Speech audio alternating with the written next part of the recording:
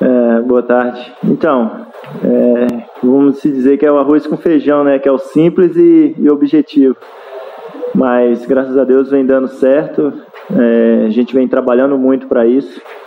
O Plínio é um excelente jogador, um cara experiente, um cara que, que já viveu bastante situações e vem me ajudando também. E não só ele, isso é mérito também da equipe que vem nos apoiando, vem, vem nos ajudando, porque é, a gente fala, a gente brinca lá que a marcação vem do ataque, e isso é fundamental para que a gente possa estar tá sobressaindo lá atrás. Naira, primeiramente, boa tarde. É, o São Bento vinha muito bem na competição, é, venceu dois grandes. Foi a partida é, do Botafogo contra um clube do interior a mais complicada na competição até agora? Cara, pode-se dizer que sim. E uma das que, que a gente fez melhor partida, acho que fora de casa. Uma das melhores partidas nossa. Eu ainda bato na, na tecla que, que a do São Paulo foi a melhor o resultado não condiz com, com o que foi a partida, mas fizemos um, um, um bom jogo.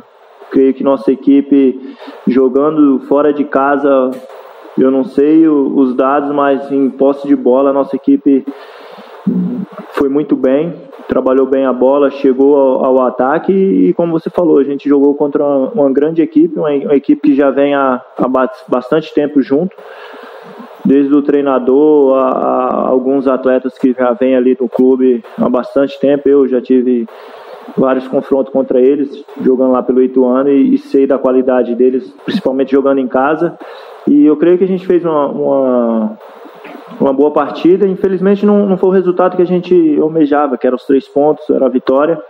Mas esse ponto que a gente trouxe de lá foi muito importante.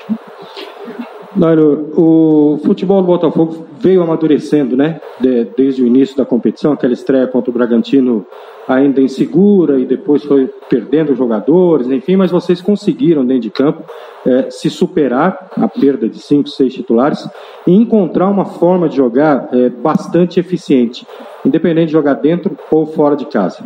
O Botafogo tem três partidas agora dentro do campeonato dele Linense, São Caetano e Santo André, ou Santo André e São Caetano, invertendo a ordem, é, são três partidas que o Botafogo precisa de pelo menos sete pontos para consolidar a sua possibilidade de classificação para as quartas de finais. Como é que vocês estão encarando esse futuro curto, esse futuro breve, que já está batendo a porta aí, e a necessidade de somar esses pontos para se classificar? Então, é, sobre o, início da competição, eu, no meu ver, a dificuldade foi para praticamente todas as equipes, né?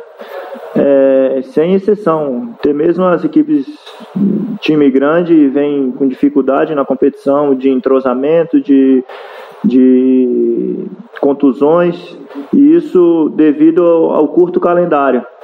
É, principalmente aqui no Botafogo, o Léo teve pouco tempo de trabalho, teve pouco tempo para montar o elenco e creio que ele acertou, acertou porque vem dando resultado, todo mundo está vendo.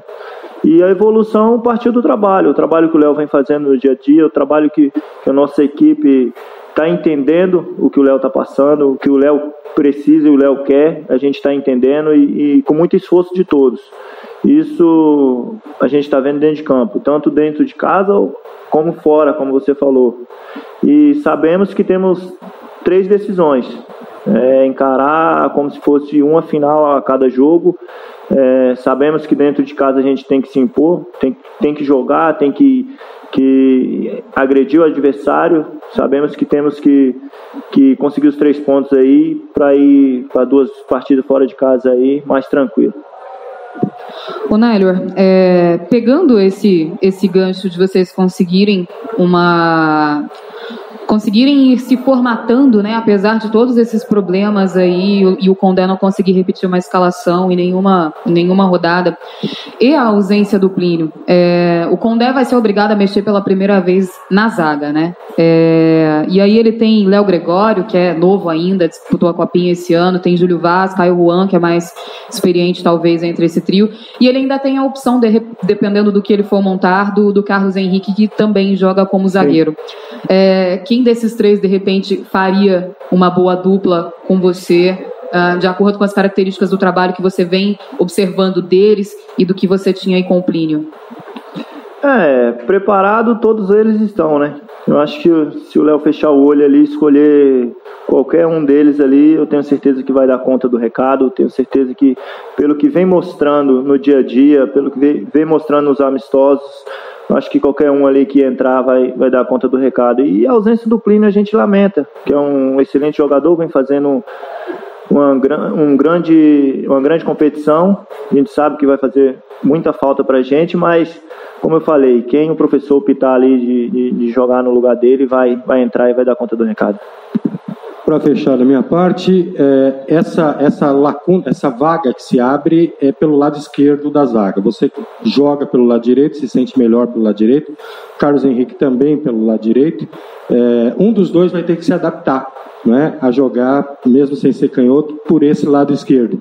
E aí, vai ser no paro ímpar? Você, como mais experiente, vai assumir a bronca? Como é que vai ser? Não, o que eu puder ajudar, eu estou disposto a ajudar, independente dos lados. Eu, os últimos anos aí, principalmente pelo Ituano, três temporadas joguei pelo lado esquerdo e estou disposto a ajudar onde o professor optar ali, vou entrar, vou disposto, vou, vou seguir firme aí como eu estou fazendo.